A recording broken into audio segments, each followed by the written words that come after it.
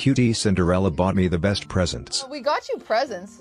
Um, Shut up. yeah, we, we shut got up. these things. No, okay, she's so stop. excited. Have you, listen, I'm addicted. I know. I don't. If you don't like them, I'm gonna be really I'm not gonna but okay. keep any of them. This is We the got the Leo. Leo.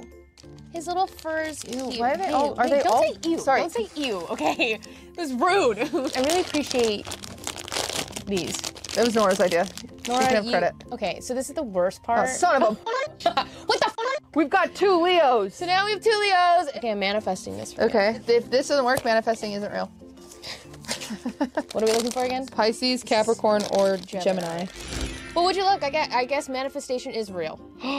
so it's, I, That's you heard it here, folks. crazy. We got a Gemini. And look, okay, and we got Virgo and Gemini together. Wow. Wow, it's us. Wow, I got two babies. Wait, I love that. You don't. What the hell? Sorry. Don't yuck me I don't. I don't mean to.